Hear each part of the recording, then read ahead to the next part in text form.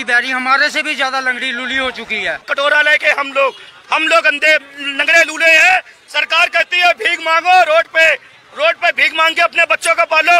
सरकार कहती है वादे करती है बड़े बड़े वो पारिक बना दिया वो पारिक बना दिया वो माहौल बना दिया वो माहौल बनाने से नहीं काम चलेगा। एक गरीब घर के विकलांग के घर में रोटी डालोगे तब निवाला अच्छा रहेगा। अरे सरकार अंधी है तो आ करके इस विकलांग के घर में पूछ ले क्या हालत है इस घर के?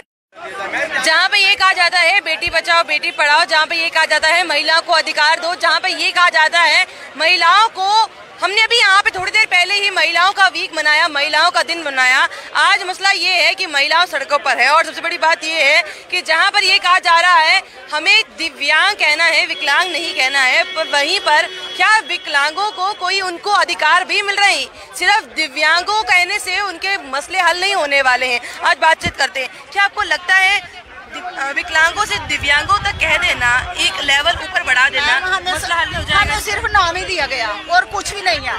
हमें पैंसठ हज़ार पे मिट्टी उससे होता क्या? अब बताओ आप एक महीना गवर्नमेंट सरकार से बोले एक हज़ार से महीना चला सकती है अपना? हम उससे क्या करेंगे? हम पढ़े लिखे हैं डिप्लोमे की है उसके बाद भी बेकार है हम। अब पिछली बार फरवरी में भी एक हफ़्ता बैठे थे इधर।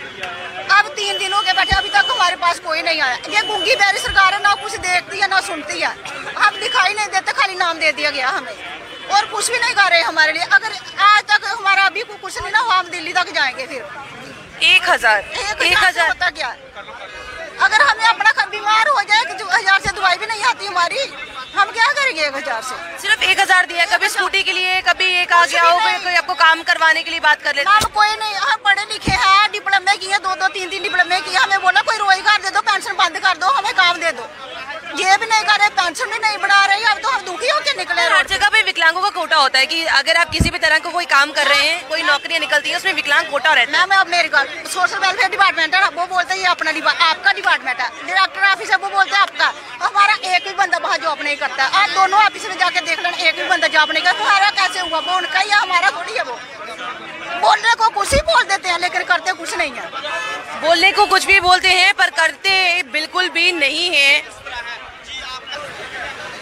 एक और भाई मेरे साथ में मौजूद हैं। भाई, क्या लगता है कि अब अच्छे दिन के आने की कोई उम्मीदें रह गई हैं? अच्छे उम्मीदें नहीं रह गई हैं। पूरे दिन आने की उम्मीद हो गई है, बहन जी।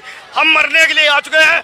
मीडिया भाई, रात दिन हमारे लिए मेहनत कर रही है और रात दिन मेरी आवाज़ को प्रधानमंत्री तक पहुँचा रही है मीडिया भाई। मीडिया भाई के अलावा या कोई सरकारी कर्मचारी, कोई अधिकारी, आज विकलांग दो दिन से भूखे बैठे हैं। उसने कोई अधिकारी कर्मचारी जा करके एक कप चाय, एक विकलांग को पिला देता तो सरकार को गुनहगार थे कि हम लोग चाय पिया था सरकारी चाय।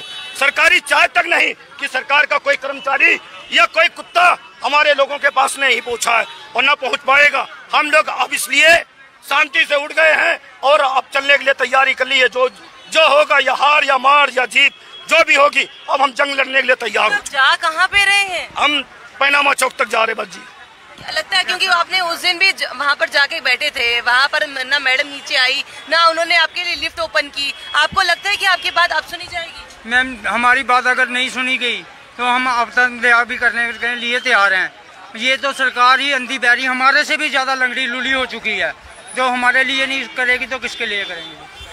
लगता है कि कोई अधिकार जो है मिलने बाकी हैं या अधिकारों के लिए लड़ना पड़ेगा? अधिकारों के लिए इनसे भीख मांग रहे कटोरा लेके हम लोग। हम लोग अंधे नंगरे लूले हैं। सरकार कहती है, भीख मांगो रोड पे।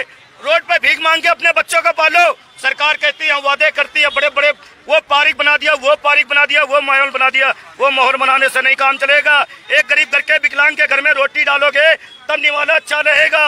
अरे सरकार अंधी है तो आ करके इस विकलांग के घर में पूछ ले, क्या हालत है इस घर के अंदर? हमसे पूछे आके, हम लड़ने के लिए तैयार हैं आज। हम लड़ने के लिए तैयार हैं पर एक बार आके पूछे तो सही। हम लोग बता रहे हैं कि हम किस हालत से गुजर रहे हैं। बताना भी चाहते हैं आते भी हैं पर ना तो हमारी बात को सुना जाता है ना समझा जाता है। भैया बात ये है कि इस समय हर कोई जो है वो सड़कों पर है। पर सवाल ये होता है कि भैया जब ये लोग सड़कों पर आ जाएँ तो फिर आखिरकार और किसकी रह गई पूंछ की जिसमें अब उनका भी आना जो है बाकी रह जाएगा? एक शख्स जो कहीं ना कहीं अपने अधिकारों के लिए, किसी के लिए लड़ना शुरू करना चाहिए था, अधिकारों के लिए लड़ने के लिए अब और कितने दिन शेष हैं? हर जगह पर तो वहाँ पहुँच गए मैडम, ये कहते हैं, हम अपने हक के लिए अब ये लगभग हमने फैसला लिया कि ये आखिरी लड़ाई है।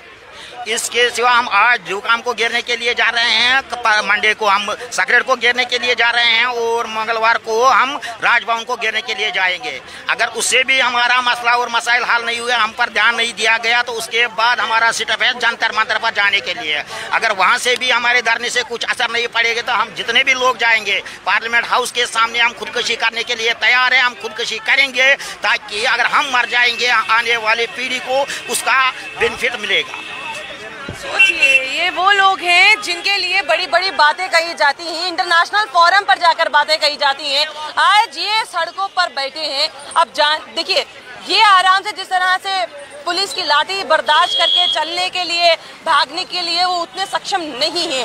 पर हाँ अपनी बात रखने के लिए सक्षम है, इसीलिए वापस सड़कों पर आ गए हैं कि भैया, बात सुन लीजिए। अब आहिस्ता आहिस्ता अलग अलग जगहों पर जाया जाएगा, क्योंकि कब से बात हो रही है, बात सुनी नहीं जा रही है। अब अलग अलग जगहों पर जाया जाएगा, सुनाया जाएगा कि भैया, भगत सिंह जी की एक बात याद आती है कि भैया, जब भी कहीं जाइए, एक धमाका कीजिए। धमाके से ही बात जो है वो कानों तक पहुँचती है। तो अब इन्होंने सोचा है कि वो धमाका ये होगा अलग अलग जगहों पर जाएँगे गहराव करेंगे। गहराव करने के बाद कहीं ना कहीं जो है, अब शायद बात सुनी जाए। अगर तब भी ना सुनी गई तो सीधा जंतर मंतर यहाँ पार्लियामेंट, और अगर पार्लियामेंट तक हम पहुँच गए तो वहाँ सिर्फ़ और सिर्फ़ खुशखुशी ही होगी यहाँ हम लोगों को कुछ नहीं मिलेगा, सब बात अलग। और हमारी जितनी भी आने वाली पीढ़ी होगी, उसको कहीं ना कहीं कुछ ना कुछ तो मिलेगा।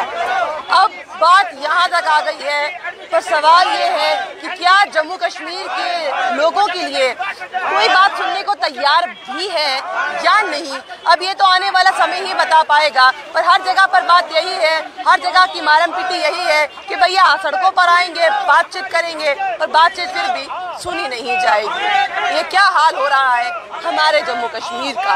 आपको क्या लगता है अपनी राय कमेंट बॉक्स में ज़रूर रखिएगा।